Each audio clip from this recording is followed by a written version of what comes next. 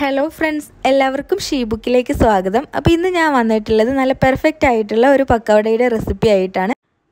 നമ്മൾ ചായക്കടയിൽ നിന്നൊക്കെ വാങ്ങിക്കഴിക്കുന്ന നല്ല ക്രിസ്പി ആയിട്ടുള്ള ജ്യൂസി ആയിട്ടുള്ള അതുപോലത്തെ പക്കവടയാണ് കേട്ടോ നമ്മൾ ഈ ഒരു രീതിയിൽ ഉണ്ടാക്കിയെടുക്കുന്നത്.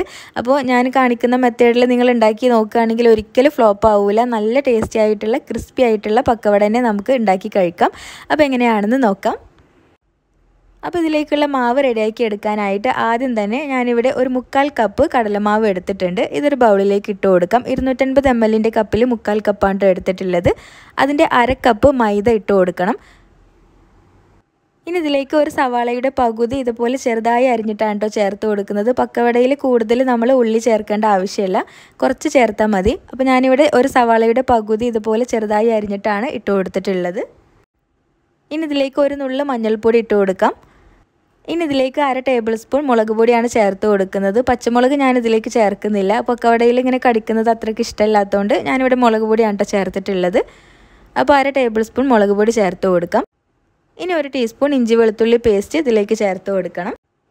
പിന്നെ വേണ്ടത് കറിവേപ്പില അരിഞ്ഞതാണ്. കറിവേപ്പില അത്യാവശ്യം കൂടുതൽ ചേർത്ത് കൊടുക്കാം കേട്ടോ അപ്പോഴാണ് നല്ല ടേസ്റ്റ് ഉണ്ടാവുക. നല്ലൊരു ഫ്ലേവറാണ് കറിവേപ്പില കൂടുതൽ ചേർക്കുമ്പോൾ.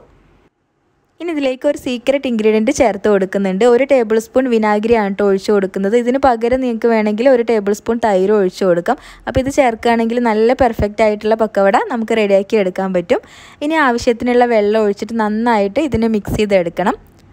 അപ്പോൾ വെള്ളത്തിന്റെ അളവ് എന്ന് പറയുന്നത് ഞാനിത് മിക്സ് ചെയ്ത് കഴിഞ്ഞിട്ട് കാണിച്ചു തരാം. ആ ഒരു പരുവത്തിലാവുന്നത് വരെ വെള്ളം ചേർത്താൽ മതി.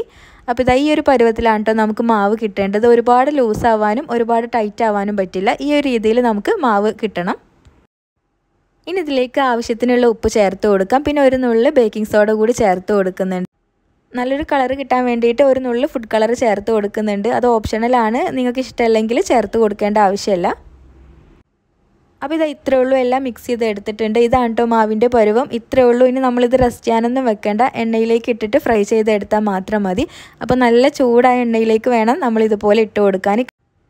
അപ്പോൾ ഇങ്ങനെ കൈകൊണ്ട് നുള്ളിയിടുകയാണെങ്കിൽ നല്ല ഷേപ്പ് കിട്ടും കേട്ടോ നമുക്ക് സ്പൂൺ വെച്ചിട്ടൊക്കെ ചെയ്യുമ്പോൾ അത്രയ്ക്ക് ഷേപ്പ് കിട്ടൂല. അപ്പോൾ ഇത് ഈ ഒരു രീതിയിലാണ് കേട്ടോ ഇത് ഉണ്ടാവുക. ഇനി തിരിച്ച് മറിച്ചൊക്കെ ഇട്ടിട്ട് നല്ല ക്രിസ്പി ആയിട്ട് വരുന്നത് വരെ ഫ്രൈ ആക്കി എടുത്താൽ മാത്രം മതി. നമ്മുടെ പെർഫെക്റ്റ് ആയിട്ടുള്ള പക്കവട ഇവിടെ റെഡിയായി കിട്ടി.